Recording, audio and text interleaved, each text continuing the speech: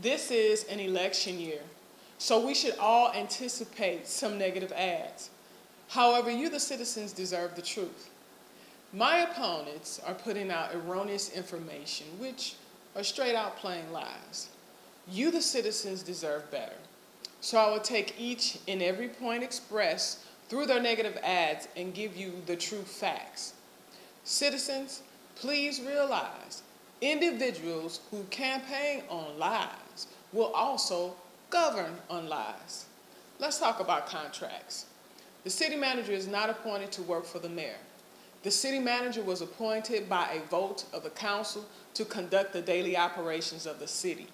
This includes approving big and small contracts. Fact, this administration has saved $1.5 million by eliminating and renegotiating contracts.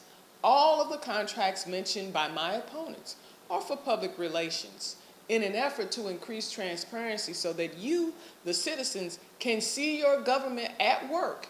It is necessary to have a photographer, a videographer, and a media spokesperson, a public relations team.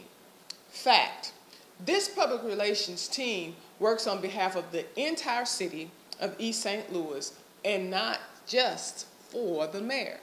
The team conducts live broadcasts of council meetings and town hall meetings. They also draft newspaper articles, create press releases, and respond to media requests. In order to keep you fully informed, during this age of information, a public relations staff is needed. As a matter of fact, the contracts in question are contracts which were established within the entirety of my four-year term. $49,000 over four years in comparison to saving $1.5 million in contracts. That's not a comparison. Let's talk about the salary of the city manager. Fact, the current city manager makes the same salary as all of the previous city managers. There's been no secret raise for this city manager, and her salary has nothing to do with the police and fire pension. Fact, this administration has increased the contributions to police and fire pensions, paying more than any other administration. Now, what about clean sweep? This is the most disturbing of all of the misrepresentations because this misrepresentation took something that was good and positive for our city and create and created negativity and confusion. My opponents don't have a record on which to run.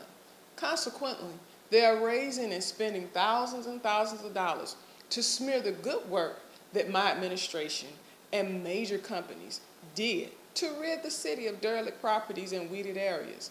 These companies assisted us at no cost to the city. We should be rewarding their goodwill instead of tarnishing their reputation. Fact. There was no illegal dumping for the clean sweep. The city paid $18,000 to dispose of the trash and debris created from the clean sweep and deposited into the landfill. The clean sweep occurred on Saturday.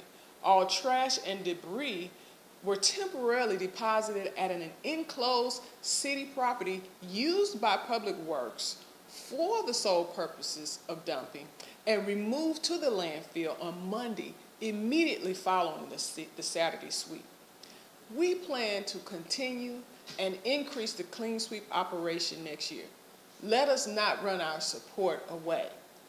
Fact, through a partnership with the EPA, the city collected debris and the EPA removed 162.72 tons of used tires from the city. What about the Broadview Hotel? The developer paid the IDA application fee, not the mayor. The property is zoned properly, and the developer presented the project to the Planning Commission once and to the City Council twice. And last but not least, the mayor's car. This is another pure fabrication. I use my car less than any other previous mayor. I drive my personal vehicle to, to City Hall and back. I only use the city vehicle for city business, and sometimes I use my personal vehicle for city business. Also, the city vehicle was totaled while parked. Fact, prior to my administration, the city had liability insurance. This left the city vulnerable every time there was an accident. Now, the city's vehicles have full coverage, so no accident impacts the city budget. The state of our city is too fragile to be distracted by slanderous, deceptive lies. It is an injustice to you, our citizens, for others to continue to manipulate and deceive you for selfish gain. I appeal to you during this season and any other season, conduct your due diligence to make sure you are not being fed lies in order for others to gain your support. We are transparent and, and our records are open. If I were you, I would be angry that people assume that you will not check out the facts for yourselves. My administration plans to continue working on behalf of the entire community of East St. Louis, Illinois. It is my request that the citizens would just continue to educate themselves by attending the council and committee meetings so that you can know for yourself.